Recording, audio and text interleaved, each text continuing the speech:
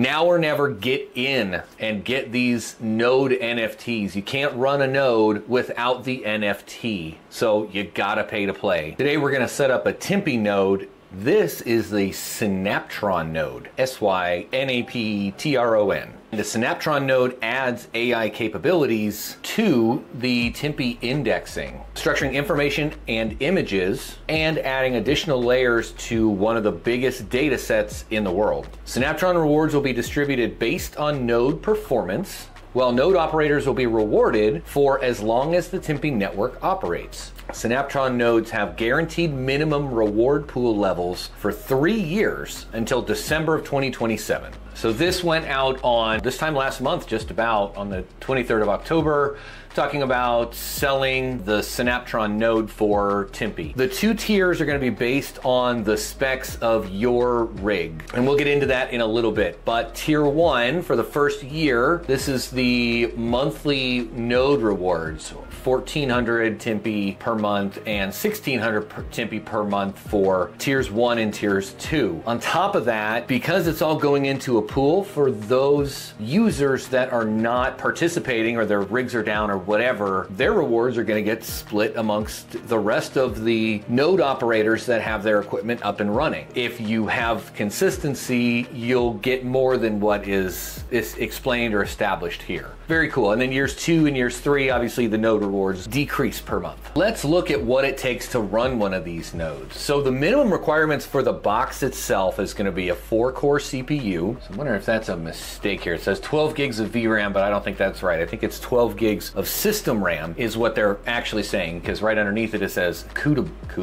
Hey, words are hard, okay? CUDA compatible NVIDIA GPUs with a four gig minimum based on yada yada. Good internet connection, usage of multiple GPUs not supported per rig. That's the core components and it's on Windows 10 or Linux, Ubuntu 22 and above. This is the tier one and tier two that they're talking about. So tier one is a four or six gig GPU. So think 1060s, 2060s, 3050s. Uh, tier two is gonna be eight to 16 gig cards. So that's your 1080 Ti's, your 4070s, your 3070s. I don't know if the data center cards like A4000s and stuff are gonna be compatible, but we'll find out. So we're gonna go through and install this Timpi Synaptron node on a dedicated physical host running an RTX 3060. A four core i5 processor. I think I've got 32 gigs of RAM, because why not? As of the time of recording, you've got about six hours left until the sale goes live. So by the time you're watching this, the sale is already live. Now or never get in and get these node NFTs. You can't run a node without the NFT. So you gotta pay to play. And of course, links for all of this is gonna be down in the description as well as the pinned comment. So the first link that's down in the description and in the pinned comment is gonna go to their GitHub repository. From here, you can see the Docker container install guide and the Windows install guide. Like I said, we'll be installing this on a Windows 10 machine, a physical host, not a virtual machine. If you are going to run Windows in a VM and you have your GPU pass-through set up, I'm pretty sure these installation instructions are going to be pretty much equivalent in a VM versus a physical box. First things first, when you're setting up your machine, make sure that you've got the latest NVIDIA drivers installed as well. In that same link is the download link for the application for a zip file for Windows and a tar file for Ubuntu or Linux. So we're going to click on the PDF to look at the instructions and boom, pretty straightforward. I have remoted into the desktop that this is installed on. You go to the link, you download the zip file, unzip it to somewhere on your desktop. It has these two files in it. So let's go into the actual unzipped. You run setup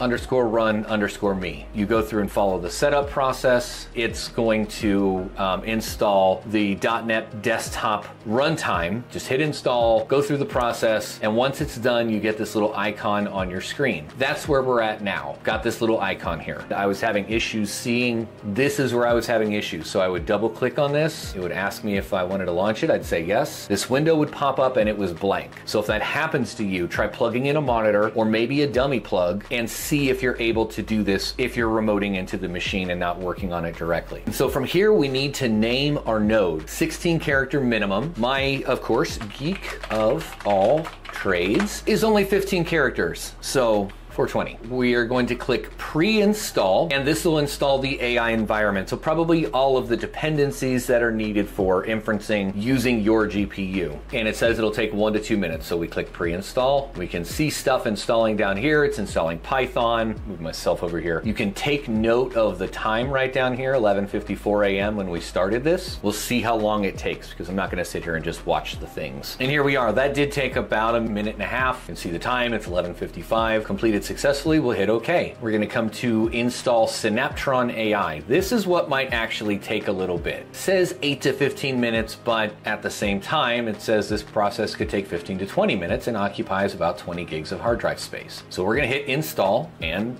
hurry up and wait. All right, while we're waiting on this to finish, because that's still installing, it's probably gonna take a little while. This node sale is not just going to be the Synaptron nodes. They are releasing 250 Synaptron NFTs, and again, you do need an NFT in order to run a node. They have 120 Guardian nodes coming up for sale and 50 more collector nodes. I actually plan on picking up a couple more collector nodes because I feel the value is there for them. Synaptron nodes and collector nodes do not need a public IP or DDNS, where a Guardian node does. Just keep that in mind. We just finished. It is 12.05. So that took about 10 minutes. Now we need to restart the thing. We would come down to the system tray, right click, exit Synaptron. Because if you just exit this window, it still runs in the background and you get a notice down here that says it. Open your system tray, right click, exit Synaptron. And then that same icon we used earlier, we're gonna double click it and restart it. Boom, that's it it. Synaptron node is installed. We can see right here the GPU is enabled. Now at this point, we can close this window out and it'll run in the background. What we're gonna do here is set it up so that we are going to have the Synaptron node automatically restart itself in the case of power failure or system reboot or whatever. So what we're gonna do is come down here and on a normal, like if you're plugged into your machine, you can hit Windows key R to go to your run option options. I'm remoting into it, so if I do that here, it's gonna happen on the local machine. So you would just come down here and search run, and that'll be your first option here. See, we're gonna do shell colon startup and here's our start menu. We're gonna right click, go to new shortcut, and the shortcut path, file path is in the PDF that's in the link down below. Click next, Synapse agent, hit finish. There we are. So now, when the system reboots, it'll automatically bring up this application again. Also, this would be a really good time to go into the BIOS of the machine and make sure that it's set up to restart at power failure. If you're running it in a VM, you can also set that up in the hypervisor level as well. Installation complete. Don't forget guys, there's a very limited time where you can actually buy these NFTs to run these nodes to get that passive income. I love that it's just one of these set it and forget it kind of solutions. And of course, Links are in the description. This is the kind of video that you like watching. Consider subscribing for more like it. And of course, thanks for watching.